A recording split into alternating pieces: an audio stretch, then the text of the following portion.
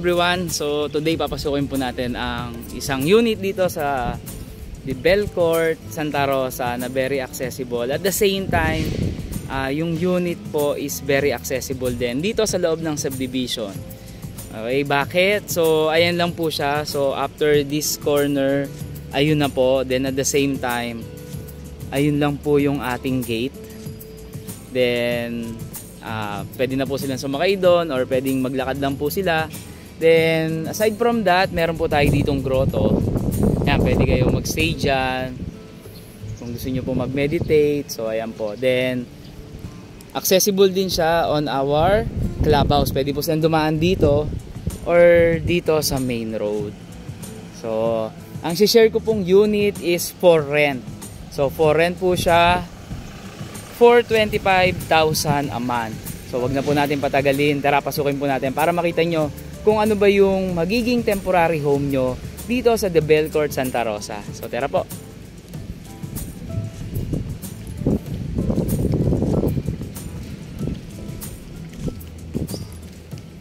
So second unit lang po siya dito sa 3rd Street ni Belcourt. So Block 7, Lot 2. So ito po yung um, yung harapan ng ating for rent na unit. So gated na siya, cemented na po yung ating parking and at the same time naka bubong na rin siya or naka-roof na rin para kung umulan man, umaraw, so magiging convenient po ang pag-stay po nila dito. Then meron na rin po siyang water and electric connection. So tara po, pasok po tayo. So, ayan. Dito po tayo sa parking. So, sa parking po is naka, naka-design siya ng pebbles. Then, ayan. Dito po nila, natin pwedeng i-park yung sasakyan po nila. Then, ang isa ko nakikita ditong maganda is naka-screen na rin po siya. Pero, yung screen niya is space saver. Bakit? Kasi po is naka-sliding po siya. Ayan. So, pasok po tayo. Ah, wait lang po. Dahil po tayo ng ating sapatos kasi linis po ng unit natin. Pasok po tayo. So, upon entering, ayan, kung makikita nyo po, napakaaliwalas. So, ayan po yung ilaw natin. Kasama na po siya pagka pinarent po yung unit natin. Then dito po naka-sliding window tayo. At the same time ginawa ni owner is pina-blinds na po niya. So ayan naka-blinds na po. So hindi ka na magpapalit ng kung ano-anong kortina. So yun po yung kagandahan.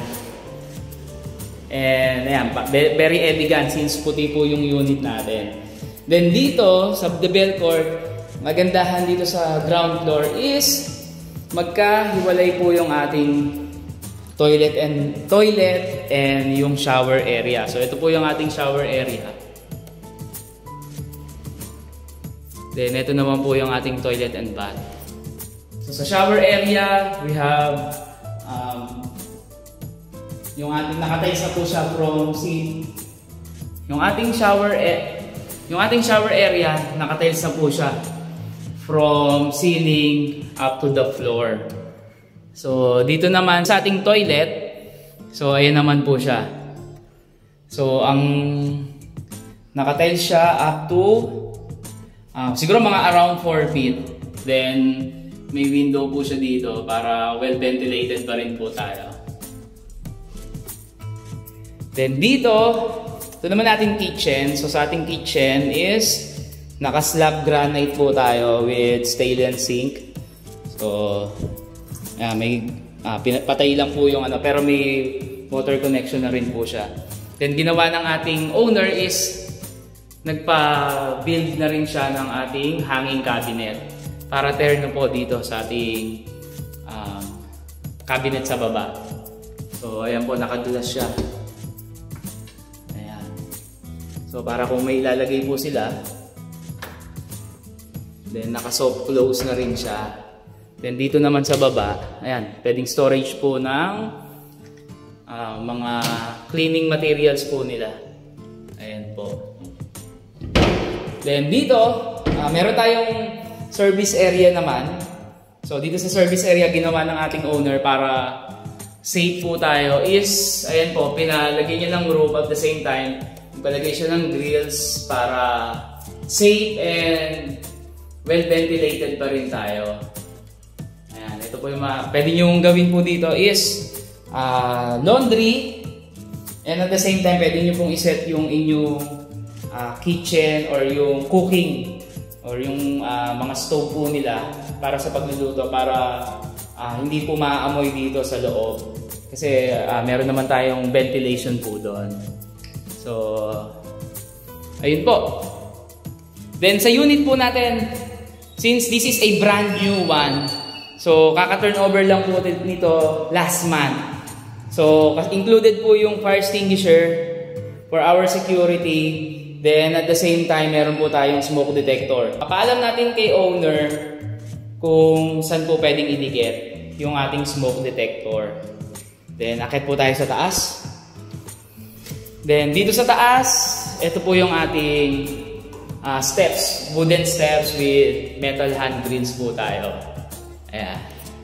So sa taas, meron po tayong two bedrooms and toilet and bath. So unlike ng And bath natin sa baba is magkahiwalay pero dito po sa ating second floor, ayan, magkasama na po siya. So ayan po. So hindi pa lang po nakakabit ng ayos yung ating curtain or yung bath curtain natin. Then adjacent po sa ating toilet and bath, ating first bedroom. Ayan, naka slides na rin po tayo. Then, at the same time guys, ang good thing po dito, i-rent mo na lang siya, then yung under furniture mo na lang dadalhin mo. Included na po yung ating air conditioner or air, condition. Included na po siya, bago po siya guys. Carrier pa. So, bago po siya. Yan.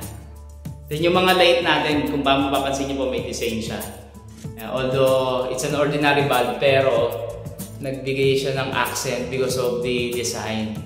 Ito po yung ating first bedroom.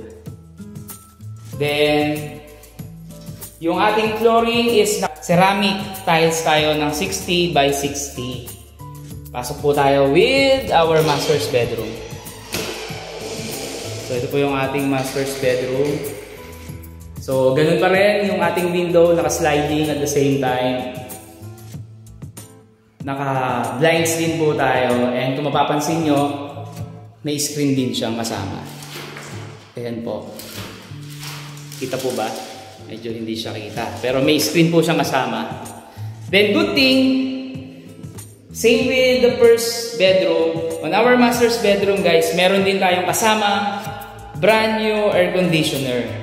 Ang worry ni owner is yung air conditioner is one of our necessities na of our family. So, kaya niya in-include po yan. So, yan.